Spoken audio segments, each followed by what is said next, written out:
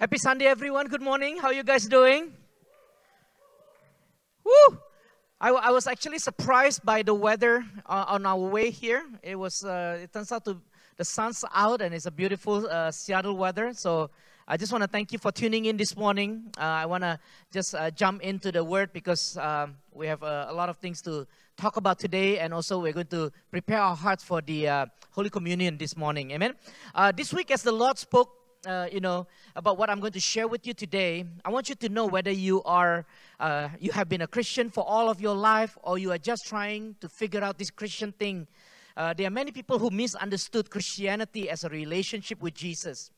Uh, I remember talking to several people who have been burned by churches uh, and religion because of the legalism in their religion. Uh, none of them have the security and confidence in their salvation and they thought that salvation is earned to a pilgrimage of rituals and good behaviors, right? Uh, and the message they heard centered around what not to do, what to do, what you must do in order to find favors with God. And their focus is only avoiding those mistakes and violating the laws of God and the church. But that is not the gospel, guys. Is not the gospel.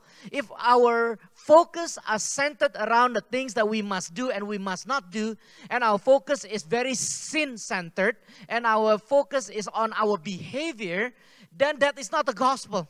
We, we misunderstood uh, the, the call and the, and the invitation that Jesus wants you and me to have in this relationship, right? How many of you have ever told your kids or have been told, uh, maybe as kids, hey, don't touch the fire. Hey, don't touch the electrical outlets or don't touch the fireplace. How many of you have been told that? And how many of you have also been heard, hey, not don't do those things. Don't look at those things, right? And guess what? The moment you heard those words, what, what did you guys do? You do it. you touch it. You see it, right? And that is just human nature in our fallen state, is that we are curious. You know, and the word forbidden sounds so sensational. Whenever you have the word forbidden, it sounds like so attractive that you want to do it, right? Um, and then how many of you have been told not to look at those stuffs? You know, those stuffs are not good for you. And guess what? The next thing you turn around, you look at those stuffs.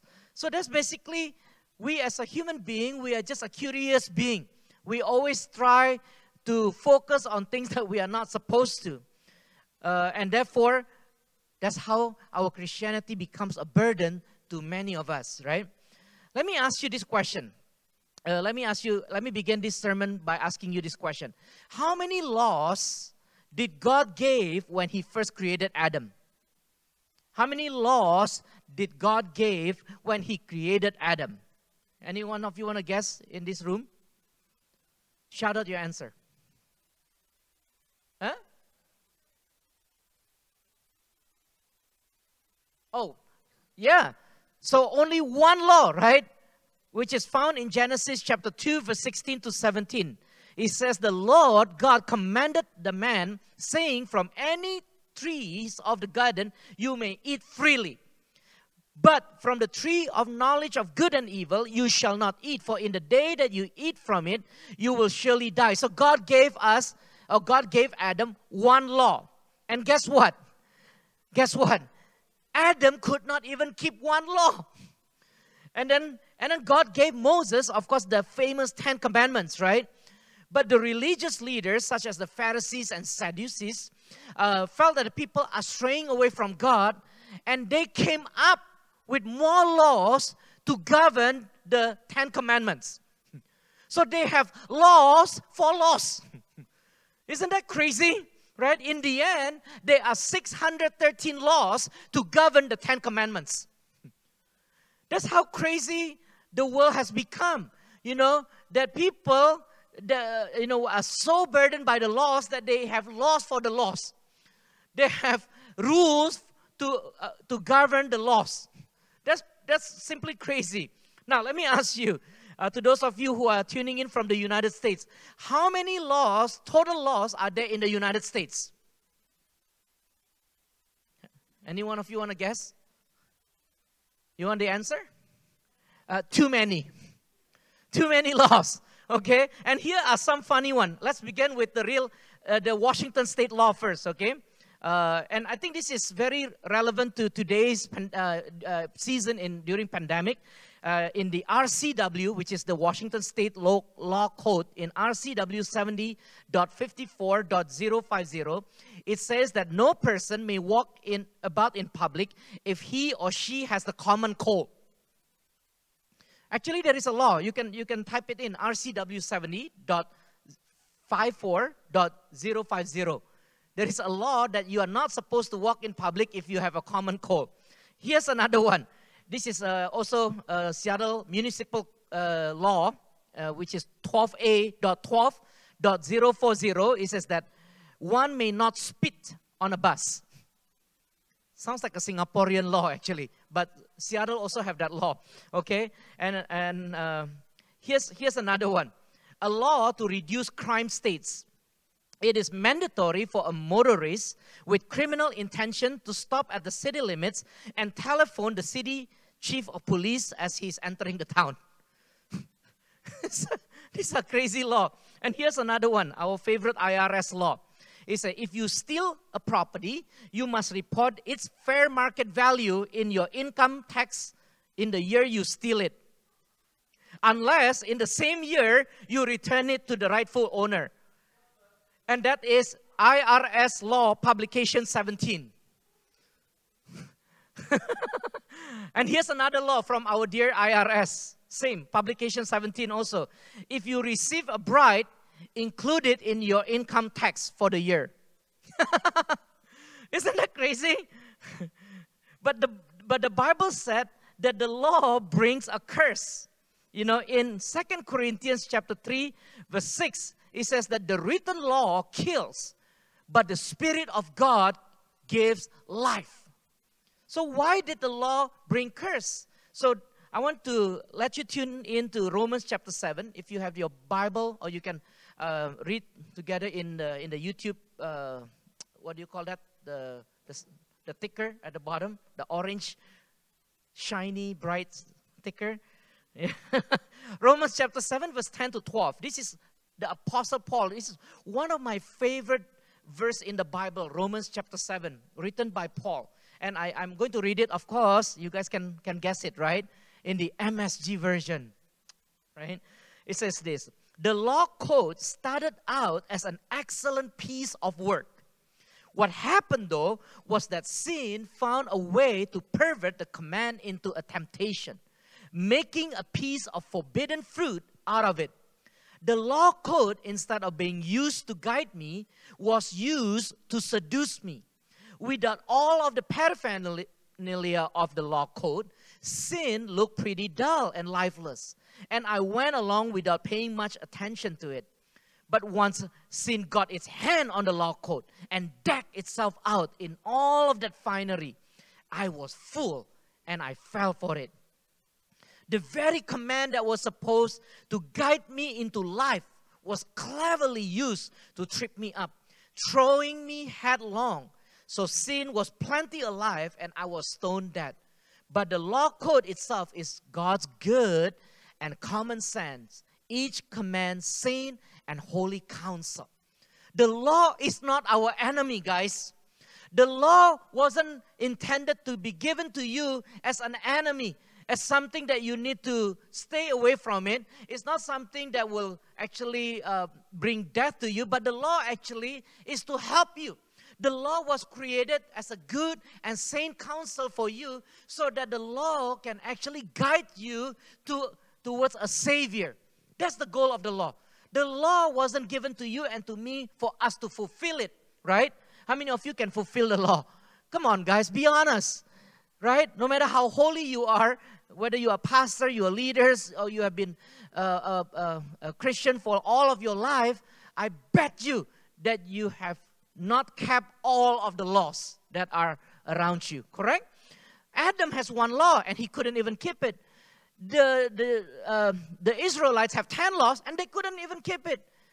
And then the Pharisee and Sadducees now added 613 laws, and I bet you they couldn't keep it too.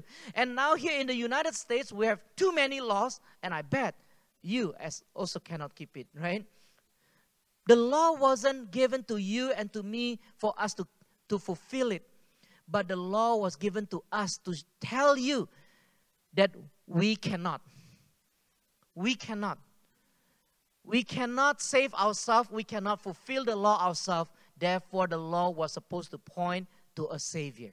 That's the purpose. A good friend of mine, you know, I still remember uh, many years ago when I was younger in Singapore, uh, they, one day they, the, the government just come up with a law that prohibit you from uh, eating bubble gum, okay, chewing gum. When I was much younger, you can eat chewing gum in Singapore, but at one point, uh, I forgot what year was that, they suddenly have a law says no chewing gum. You know, I never liked chewing gum in the, in the first place. I don't even have, I don't even care about a chewing gum. But the moment they have that law, suddenly I want to eat chewing gum. and I try ways to buy chewing gum. You know, they are friends from Malaysia, they are friends from uh, Indonesia, Thailand. When they come in, we always, you know, the Singaporean always ask them, hey, bring some chewing gum for us. You know, and then one day I still remember I, I had a friend who visited, and then uh, she or he brought the chewing gum. I don't like chewing gum, but because the law says I can't eat chewing gum, I want to eat it. and so I, I took the chewing gum from a friend, you know, a bunch of us, you know, after church, we were walking in a, in a mall uh, with the chewing gum, and the police actually caught us. I thought that was a joke, you know. I thought that was a joke. I thought they will not, you know, arrest us. And then the police approached us. And then the police approached my friend first. He said, Hey, are you eating chewing gum? And I knew I was in trouble. So I quickly swallowed my chewing gum. Okay? I quickly swallowed my chewing gum. My friend she she got a warning, $50 fine. Okay? Yeah, $50 fine. So isn't it funny? We as a human, you know, we actually sometimes don't like those things that are harmful for us, maybe, or the, there's nothing. Chewing gum, I never like it. I never, I seldom eat it. I, I don't care about chewing gum. But when the law was given, suddenly the law becomes a, a, a you know, something in our fallen nature turns the law into a temptation and then into something that we desire. Isn't that weird? A friend of mine, this is a few years back, uh, tell me this great illustration. He says the law is like a mirror. The law is like a mirror. It shows you who you are. It even shows you what you did wrong, but it can never wipe away your wrong. The mirror can tell the girls like, oh, the lipstick's on your teeth, or, you know, maybe there is something wrong with your makeup. But the law, the mirror cannot wipe away those problems. The, the law can only tell you what's wrong with you, but the law can never save you or clean you. The law is a mirror. The law is supposed to be a, to give us a reflection of a savior, okay? The law will not lead us in, unto salvation, the law will lead us unto a Savior. Are you listening, guys? The law will not lead us unto salvation, but the law will lead us unto a Savior. God gave us the law to guide us to the truth. The law wasn't meant to be a burden, even though sometimes uh, we as churches or we as, uh, as believers or religious leaders, we make the law as a burden to the people in such a way that the law become a prerequisite for their salvation. The law become a prerequisite for their relationship with Jesus. But actually, God gave us the law to lead us and to guide us into the truth with capital T. Who is the truth? Jesus is the truth, right? Jesus is full of truth and full of grace. And to show us that we cannot fulfill the law ourselves, we just don't have the, the character in us to fulfill every single law, right? The law was supposed to tell us that we are sinners, that we are helpless in need of a savior. The law point us to the person of Jesus. That is the function of the law. But unfortunately, and I know because we encounter a number of people even in 2020 that was so burnt out, that was so burdened uh, there's one uh, guy who said that, oh yeah, I, I, uh, I'm in between religion. Why? Oh, because there's just so much burden being a part of a church. There's too much legalism in a church. And I said, That's not the gospel, though. That is not the gospel, right? Because the gospel is never meant to burden you, the gospel was never meant to burn you out, right? The law was given, yeah, as a guiding post for you. The law wasn't meant to burden you. If you are burdened by the law, that means you are reading it all wrong, right? Because the law should point us to the person of Jesus. Let's continue reading verse 13. Okay, Romans 7, verse 13. I really love uh, several verses, this whole chapter of Romans 17, uh, Romans chapter 7. If you read it in the message, it's going to give you such a wonderful revelation about your relationship with Jesus. Verse 13. I can already hear your next question. Does that mean that I can't even trust what is good? That is the law? Is good just as dangerous as evil? No, again, sin simply did what sin is so famous for doing using the good as a cover to tempt me to do what will finally destroy me. The law was not our, it's not our enemy. Sin is our enemy. And sin manipulate the law to tempt you and destroy you. Continue reading, okay? By hiding within God's good commandment, sin did far more mischief that it could ever have accomplished on its own. Verse 14. I can anticipate the response that is coming from all of you. I know that all God's commands are spiritual, but I'm not. Isn't this also your experience? This is Paul talking, not me, okay? I know it sounds like I'm the one talking, but this is Paul writing. Yes, I'm full of myself after all. I've spent a long time in sin's prison. What I don't understand though about myself is that I decided one way, but then I act another way, doing things I absolutely despise.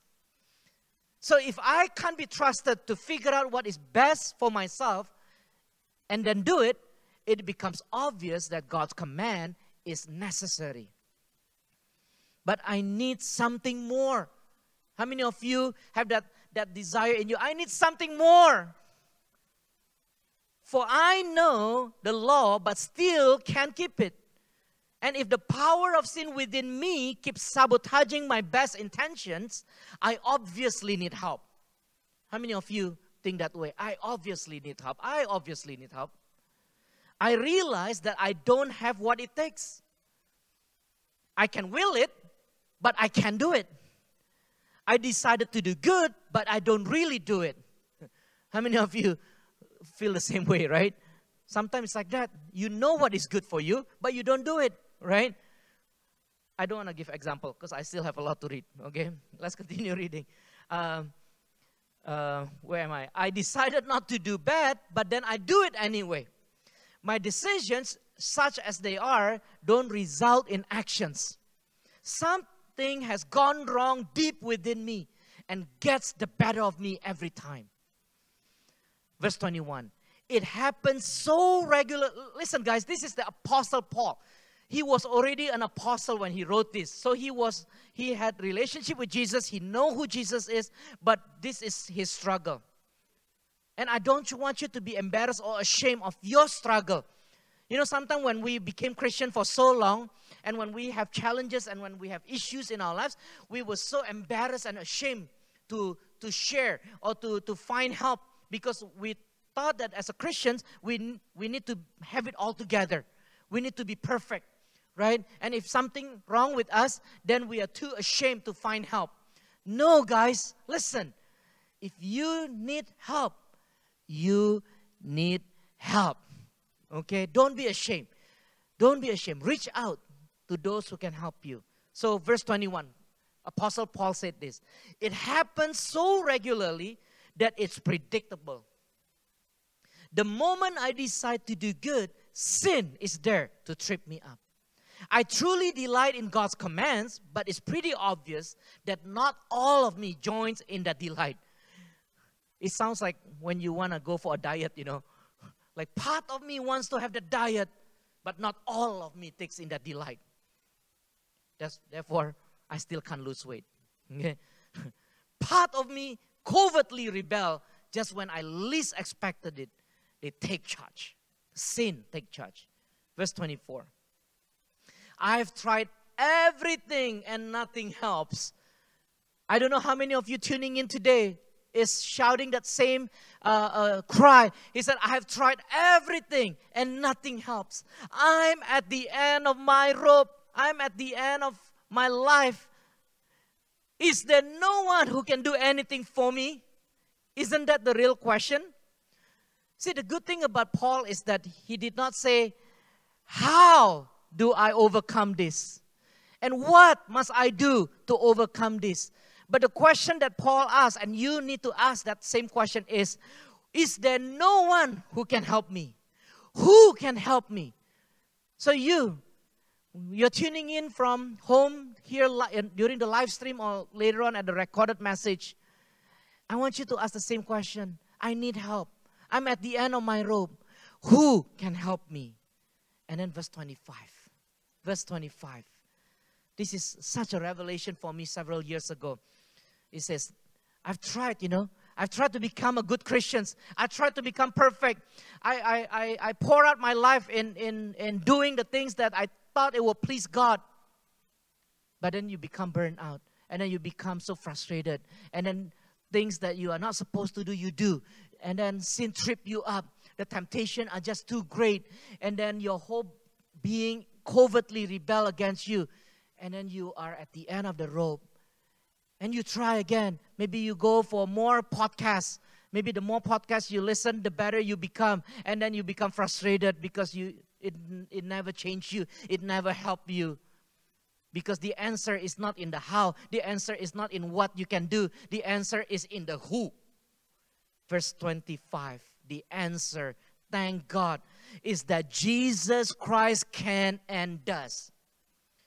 It doesn't say Jesus Christ can and will. He says Jesus Christ can and does. Present. Today, at this moment, if you ask that question and invite Jesus into your life, Jesus can and does. He acted to set things right in this life of contradictions where I want to serve God with all my heart and mind, but am pulled by the influence of sin to do something totally different. Come on, guys, let's ask that question Who can save me? Who can help me? Is there no one else can help me? And then verse 25, thank God, Jesus Christ can and does. Today, there is an invitation that Jesus is extending to you and to me. It's no longer about fulfilling the law, it's not longer being legalistic in your worship with Jesus, but is finding in the one, which is our Lord Jesus Christ. And I have this quote. Now I kind of forget, is it me who wrote this quote or I found it somewhere else? But, but because I, I forgot to write who wrote it, but please, I don't want to take credit. But it says this The grace of God does not command that sins be overlooked. Listen, guys, the grace of God does not mean that we overlook sin we dumb down sin. We ignore sin. We assume that sin is nothing. No.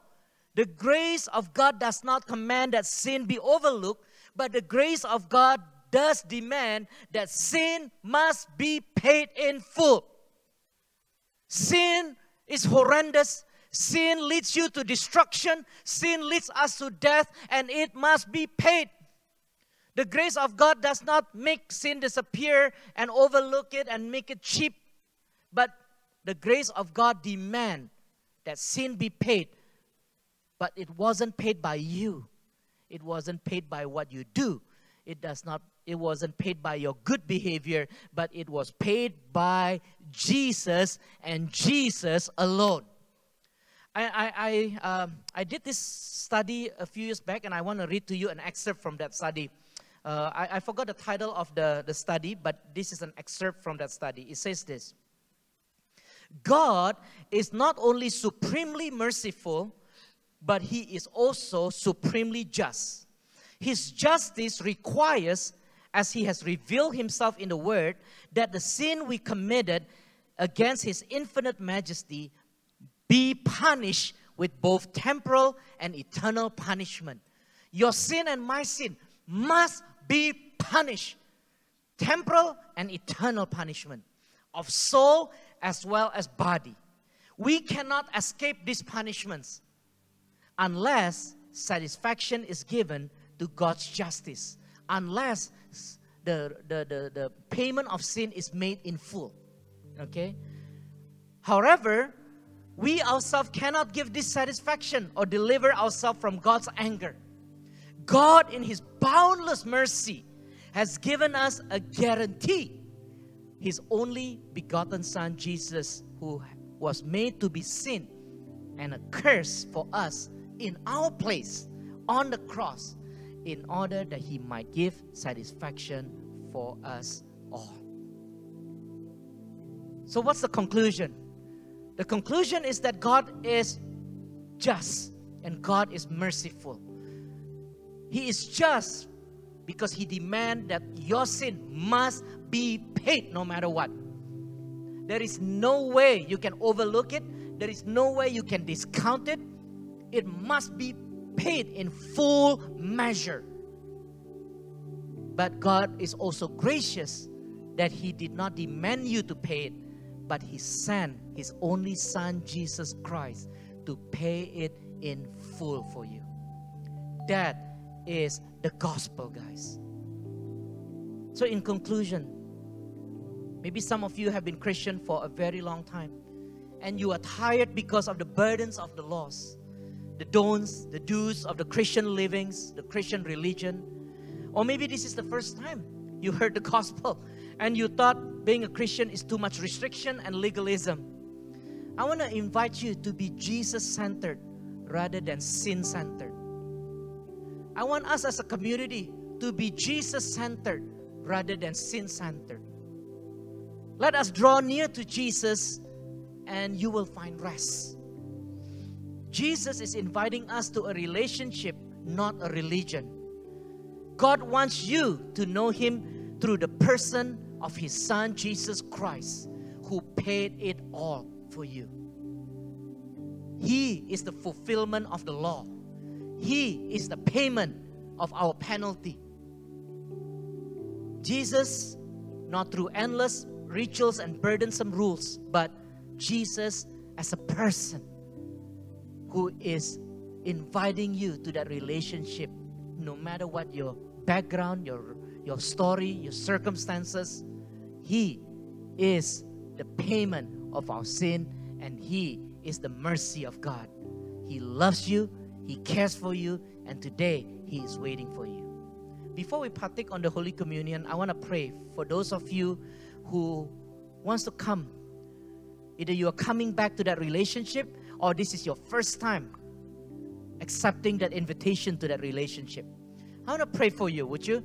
And after you pray this prayer, you are invited to partake on the Holy Communion with us this morning. It is a celebration, right? After I, we pray this message, we're going to give you time. Go grab uh, a biscuits or crackers or a bread and a juice. Come back and we partake the Holy Communion together. Let's bow our heads. To those of you who wants to receive Jesus today, who wants to enter into that relationship, or who is coming back into that relationship, would you say this prayer with me? Dear Lord Jesus, I acknowledge that I am a sinner in need of a Savior. Today, Lord Jesus, I ask for your forgiveness of sin. And I want to invite you into my life. Jesus, you are my Lord. Jesus, you are my Savior. From today onwards, I am new. The old has passed. Thank you so much, Lord Jesus, for dying on the cross to become the payment for the penalty of our sin. From today onwards, I lean in and I rest in the power of your resurrection. In Jesus' name, amen. Amen. Hey guys, let's take a moment here. We're going to partake on the Holy Communion. I'm going to give you just maybe 30 seconds. Go grab your bread and juice. Hallelujah, Lord Jesus. I'm very excited whenever I shared about Romans chapter 7 because in our ministry for so many years, we have encountered people that are so burned out by the legalism of their religion.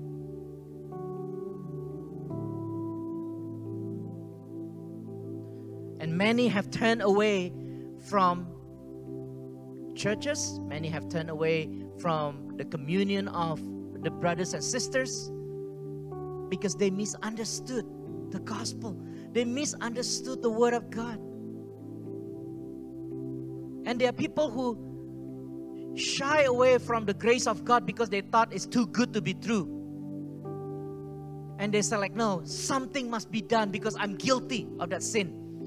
I need to suffer for that sin. Guys, there is nowhere in the Bible, nowhere in the Bible that you are supposed to pay for your sin by yourself. No way. There's only one and one way only. You can read it in the Bible. That your salvation and the payment of your sin is done only through His Son, Jesus Christ. So today, as we partake on this Holy Communion, let us be remembered of what Jesus had done on the cross for you personally and for me. Yes, our sin is horrendous. Our sin is heavy. Our sin is devastating. But the, by the mercy and grace of Jesus Christ, He paid it all. And He, you guys know, right? That sin needs to be paid by the pouring out of the blood. Even in the Old Testaments, there got to be a pouring out of the blood of the Lamb.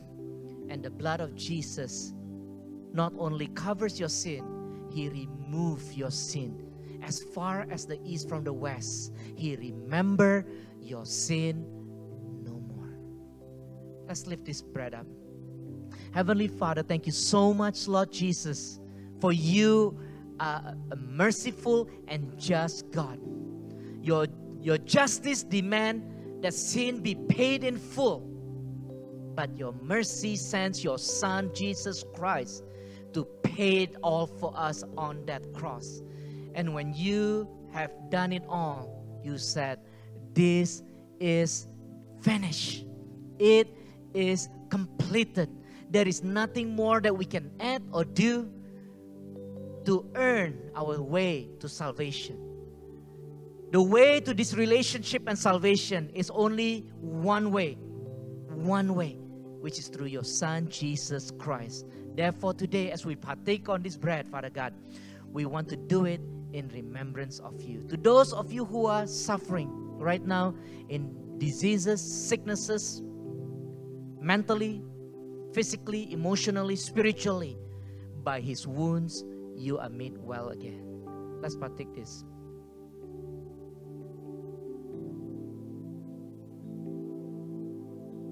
Let's lift up the cup, would you? Father God, thank you so much, Lord, because we know that the penalty of sin must be paid with the pouring out of the blood. By, the, by death, we pay the penalty of sin.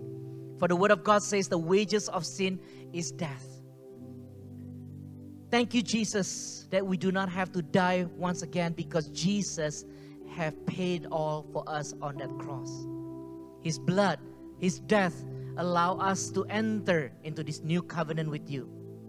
And your blood not only able to sanctify our sin, but is able to remove it from the east to the west. And you remember our sin no more. Today, as we drink this cup, Father God, we drink it in remembrance of you. Let's drink this cup. Heavenly Father, thank you, Lord, for today. Thank you for the reminder that you have given us this morning. That the good news of Jesus Christ is that we were sinners, we are hopeless, we are helpless, and we cannot pay it. Whether with our good behaviors, whether with our performance and merits, whether by following all of the laws, we cannot fulfill the payment of that sin. But today, Jesus, the good news is that you have sent your Son Jesus Christ to die for us so that you can become the full, the full payment of our sin. And because of that, when we enter that relationship with Jesus and when we declare and believe that Jesus is Lord and Savior of our life, that we can have that eternity, that eternal life with you. Thank you so much, Lord, for your word. Thank you so much for your love. Thank you so much for opening up your arms to accept us no matter where we are in our lives, whether we are perfect, we are not perfect, whether we made mistakes, whether we have broken relationship, whether we have broken stories, Father God.